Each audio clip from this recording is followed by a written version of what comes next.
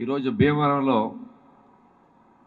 Aqua expo twenty twenty పేరుతోటి aqua రంగాన్ని ఇంకా ప్రమోట్ చేయడానికి సాంకేతికంగా సులభ పద్ధతిలో వస్తున్నటువంటి పరిజ్ఞానాన్ని రైతాంగానికి అందించే విషయంలో మెరుగైనటువంటి సలహాలు సూచనలు ఇచ్చే విషయంలో మరి ఈరోజు ఈ కార్యక్రమం నిర్వహించడం అనేటువంటిది ప్రత్యేకించి భీమవరంలో నిర్వహించడం అనేటువంటిది చాలా అభినందించదగినటువంటి విషయం.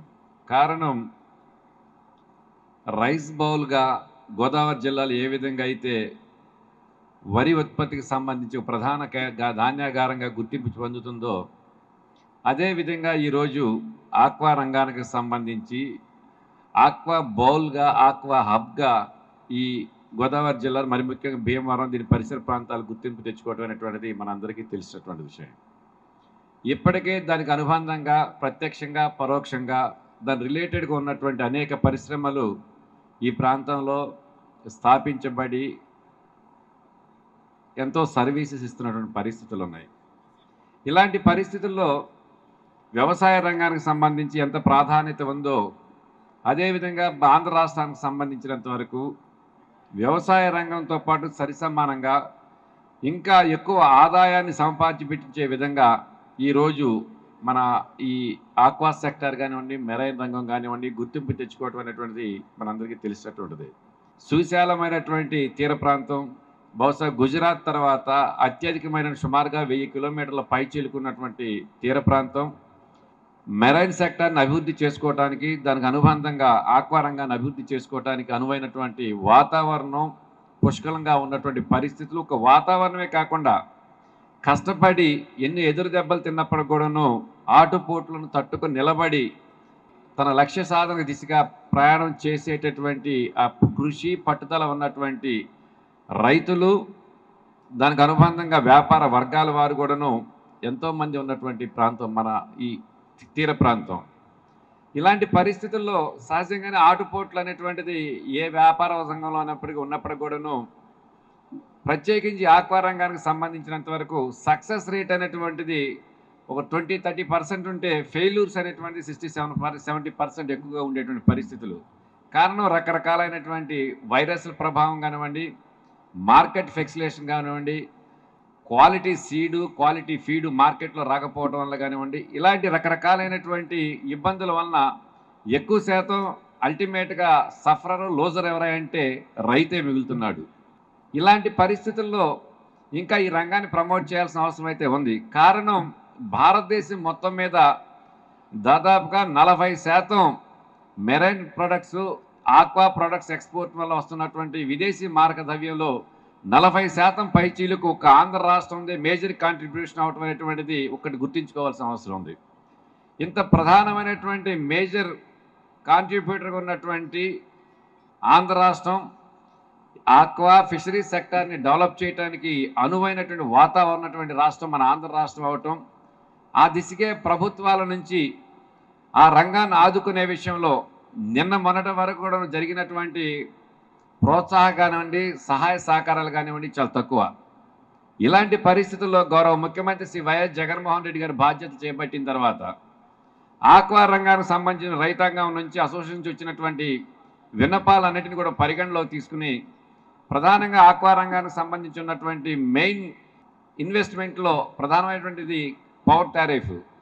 పవర్ టారిఫ్ని తగ్గించినట్లయితే కొంత వెసులుబాటు వస్తుందని చెప్పి జగన్మోహన్ రెడ్డి గారు పాదయాత్ర చేస్తున్నటువంటి సందర్భంలో ఇదే ప్రాంతంలో ఈ గోదావరి భీమవరం పరిసర ప్రాంతాల్లోనే ముఖ్యమంత్రి గారు ఆ రోజు స్పష్టమైన హామీ రేపు అధికారంలో రావటంగానే మూడు నాలుగు రూపాయలు పైచిలుకున్నటువంటి ఈ పవర్ యూనిట్ కాస్ట్ ఉన్నటువంటి పవర్ టారిఫ్ని రూపాయి యాభై పైసలకే కంటిన్యూస్గా ఏదో సంవత్సరానికి రెండు సంవత్సరాలకు కండిషన్స్ లేకుండా కంటిన్యూస్గా ఇస్తామని చెప్పిన ఏదైతే వెసులుబాటు కల్పిస్తామని చెప్పి చెప్పారో ముఖ్యమంత్రి గారు వారు చెప్పిన దానికి అనుగుణంగానే అధికారం చేపట్టినటువంటి మూడో మాసంలోనే ఆ జీవో తీసుకురావటం ఆ జీవో వలన రమారమి దాదాపు ఏడు వందల డెబ్బై కోట్ల రూపాయలు ప్రభుత్వం మీద ఆర్థికంగా అదనపు భారం పడుతున్న పరిస్థితులు ఉన్నాయి.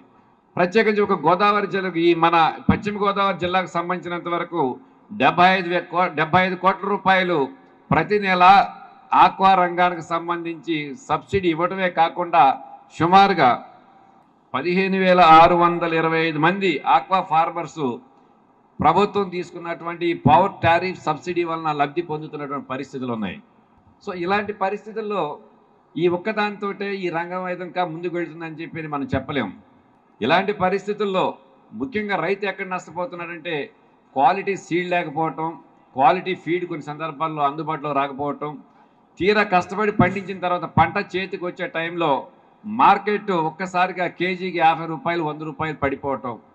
ఇలాంటి పరిస్థితుల వలన రైతు నష్టపోతున్నాడు కాబట్టి రానున్న రోజుల్లో ఇలాంటి రైతును ఇబ్బంది పెట్టేటటువంటి పరిస్థితులు మరలా పునరావృతం కాకూడదు ఉత్పత్తి కాకూడదనే ఉద్దేశంతో త్వరలోనే ఫీడ్ యాక్ట్ ఒకటి అలాగే క్వాలిటీ సీడ్ని క్వాలిటీ ఫీడ్ని సాయిల్ కండిషన్స్ వాటర్ కండిషన్స్ అన్నింటిని కూడాను టెస్ట్ చేసి దానికి అనుగుణంగానే నిర్ణయాలు తీసుకునే విధంగా ఇప్పటికే ప్రభుత్వ పరంగా ఏదైతే వ్యవసాయదారులను ఆదుకోవటానికి మరి వ్యవసాయ ల్యాబ్స్ ఏ విధంగా ఏర్పాటు చేయడానికి సచివాలయ వ్యవస్థ ద్వారా ముఖ్యమంత్రి గారు నిర్ణయం తీసుకున్నారో అదే విధంగా రాష్ట్రంలో ఐడెంటిఫై చేసినటువంటి నలభై ఎనిమిది ప్రాంతాలలో త్వరలోనే ఎంపేడ వాళ్ళ యొక్క సహకారంతో రాష్ట్ర ప్రభుత్వం యొక్క సహకారంతో నలభై ఐదు ఈ ఆక్వా ల్యాబ్స్ని ఏర్పాటు చేయడానికి కూడా ప్రభుత్వపరంగా నిర్ణయం తీసుకోవడం జరిగింది. ఇలాంటి నిర్ణయాల వలన క్వాలిటీ మెటీరియల్ రైతుకు అందించేదానికి ఎంతో కొంత తోడ్పాటును అందించిన వాళ్ళు అవుతామనే ఉద్దేశంతో ముఖ్యమంత్రి గారు నిర్ణయం తీసుకోవటం. అదేవిధంగా మెరైన్ సెక్టార్కి సంబంధించి ఈరోజు ఎంతో కోస్తుంది మంది కానీ మన యొక్క అవసరాలకు తగ్గట్టుగా మనకున్న వనరులకు తగ్గట్టుగా ఫిషింగ్ జెట్టీస్ అందుబాటులో లేకపోవటం వలన ఆ రంగంను ఎక్కువగా ప్రమోట్ చేసుకోలేకపోతున్నాం. తక్కువ కోస్ట్ ఉన్నటువంటి కేరళ తమిళనాడు లాంటి రాష్ట్రాలు ఎంతో ముందంజలో ఉన్నటువంటి పరిస్థితులు ఉన్నాయి. ఇలాంటి పరిస్థితుల్లో ఈ తీర ప్రాంతం దాదాపుగా ఉన్నటువంటి సుమారుగా పది వందల కిలోమీటర్ల పైచిలుకున్న ఈ తీర ప్రాంతంలో తీర ప్రాంతంలో ఉన్నటువంటి తొమ్మిది జిల్లాల్లో కూడాను ప్రతి జిల్లాలో కూడాను అనువైనటువంటి ప్రాంతాల్లో ఒక మేజర్ ఫిషింగ్ జెట్టి దానికి అనుసంధానంగా చిన్న చిన్న క్రీక్స్ ఉన్న చోట రెండు మూడు మైనర్ జెట్టీస్ని కూడా ఏర్పాటు చేయాలని ముఖ్యమంత్రి గారు ఆలోచన చేయటం ఆ దిశగా ఇప్పటికే నిర్ణయాలు తీసుకున్న పరిస్థితులు ఉన్నాయి. నాలుగు మే మే- ఐదు మేజర్ పోర్ట్స్ రాబోతున్నాయి. జువ్వలదిన్నె నెల్లూరు జిల్లా ప్రకాశం జిల్లాకు సంబంధించి ఓడరేవ్ గుంటూరు జిల్లాకు సంబంధించిన నిజాంపట్నం కృష్ణా జిల్లాకు సంబంధించి మచిలీపట్నం తూర్పుగోదావరి జిల్లాకు సంబంధించి ఉప్పాడ. ఈ ఐదు కూడాను మేజర్ ఫిషింగ్ జెట్టీస్తో పాటుగానే మిగిలినటువంటి ప్రాంతాల్లో చిన్న చిన్న జెట్టీస్ని కూడా ఏర్పాటు చేయాలని ఆలోచన చేయటం ఆ దిశగానే కేంద్ర ప్రభుత్వం యొక్క సహకారంతో ఒక్కొక్క జెట్టి సుమారుగా మూడు వందల కోట్ల రూపాయల పైచిలుకుతోటి నిర్ణయాలు తీసుకుని అనుమతులు కూడా వచ్చినటువంటి పరిస్థితులు ఉన్నాయి.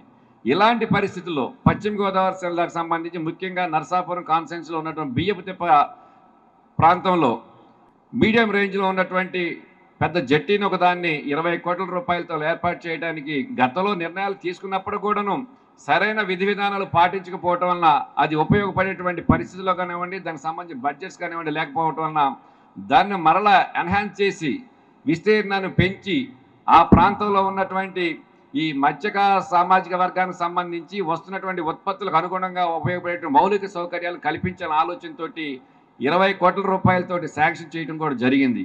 పూర్తిగా ప్రసాద్ రాజు గారు స్థానిక శాసనసభ్యుల వారి యొక్క మరి ప్రోద్బలంతో అక్కడ ఉన్నటువంటి పరిస్థితులకు అనుగుణంగా వారు తీసే సలహాల సూచనలతోటి ఈ నిర్ణయం తీసుకోవడం జరిగిందని చెప్పి సందర్భంగా తెలియజేయటమే కాకుండా మిగిలిన ముందు ముందు ఈ ఫిషరీస్ సెక్టార్కి సంబంధించి ఆక్వా రంగానికి సంబంధించి మంచి భవిష్యత్తు ఉంటుంది ఈ ప్రాంతంలో ఆంధ్ర రాష్ట్రంలో అనే దానికి ఎలాంటి సందేహం లేదని కూడా ఈ సందర్భంగా తెలియజేస్తూ మరి ఈ ఎక్స్పో ద్వారా ఇంకా ఇప్పుడు శాస్త్ర సాంకేతికంగా వస్తున్న మార్పులకు అనుగుణంగా జాతీయ అంతర్జా అంతర్జాతీయ స్థాయిలో ఉన్నటువంటి పద్ధతులు విధ విధానాలకు అనుగుణంగా ఇంకా ఉత్పత్తులు పెంచుకోవటానికి డిమాండ్కి తగ్గ ఉత్పత్తులు జరగటలేదు ఇప్పటికి కూడా. ఎంతో డిమాండ్ సప్లై తగ్గ ఎంతో గ్యాప్ ఉన్నటువంటి పరిస్థితి అంతర్జాతీయ స్థాయిలో ఉంది. ఇలాంటి పరిస్థితుల్లో ఎన్నో వనరులు మనకున్నాయి. ఎన్నో సౌకర్యాలను ప్రోత్సాహాలను ప్రభుత్వం నుంచి వస్తున్నటువంటి పరిస్థితుల్లో ఈ ఉత్పత్తులు పెంచుకోవటానికి మెరుగైనటువంటి సలహాలు సూచనలు ఇవ్వటానికి ఈ ఎక్స్పోస్ ఎంతో ఉపయోగపడతాయని చెప్పి ఈ సందర్భంగా తెలియజేయటమే కాకుండా ప్రత్యేకించి ఇప్పటి వరకు కూడా శాసనసభ్యులను మేము అందరూ కూడా మాట్లాడుకున్నాం. పశ్చిమ గోదావరి జిల్లాకు సంబంధించి ఈ ఆక్వా జోన్స్ విరగొట్టే విషయంలో కానివ్వండి జోన్స్ నిర్ణయించే విషయంలో కానివ్వండి సా మరి ప్రాక్టికల్గా రైతాంగానికి ఉన్నటువంటి సమస్యలను కూడా పరిగణలోకి తీసుకుని అధికారులకు రైతాంగానికి ఉన్నటువంటి ఆలోచన విధానాలకు కొంత వ్యత్యాసాలు కొంత విభేదాలు ఉన్నటువంటి పరిస్థితులు ఉన్నాయి.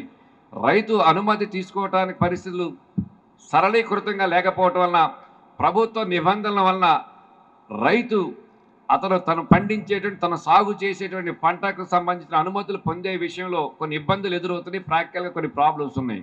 ఇలాంటి పరిస్థితులన్నీ కూడా అధిగమించడానికి సాధ్యమైన త్వరలోనే ఈ జిల్లాకు సంబంధించినటువంటి దానికి అనుబంధంగా ఉన్నటువంటి శాసనసభ్యులు దానికి అనుబంధంగా ఉన్నటువంటి అధికారులతోటి ఒక సమన్వయ మీటింగ్ని ఒక దాన్ని ఏర్పాటు చేసి ఆ ప్రాంతాల్లో ఉన్నటువంటి సమస్యలు ఏంటి? ఏ విధంగా జోన్స్ విడగొట్టాలి? ఎలాంటి నిర్ణయాలు తీసుకుంటే ఈ ప్రత్యేకించి ఈ జిల్లాలో ఉన్నటువంటి ఈ జోనల్ సమస్య వలన రైతు భవిష్యత్తులో ఇబ్బంది పడకుండా ఉండాలి అనేటువంటి ఆలోచనతోటి అన్ని రకాలైనటువంటి రైతుకు ఉపయోగపడే విధంగా ఈ రంగాన్ని ఇంకా ప్రోత్సహించే విధంగా ప్రభుత్వ పరంగా నిర్ణయాలు తీసుకుంటామని చెప్పి కూడా ఈ సందర్భంగా తెలియజేస్తూ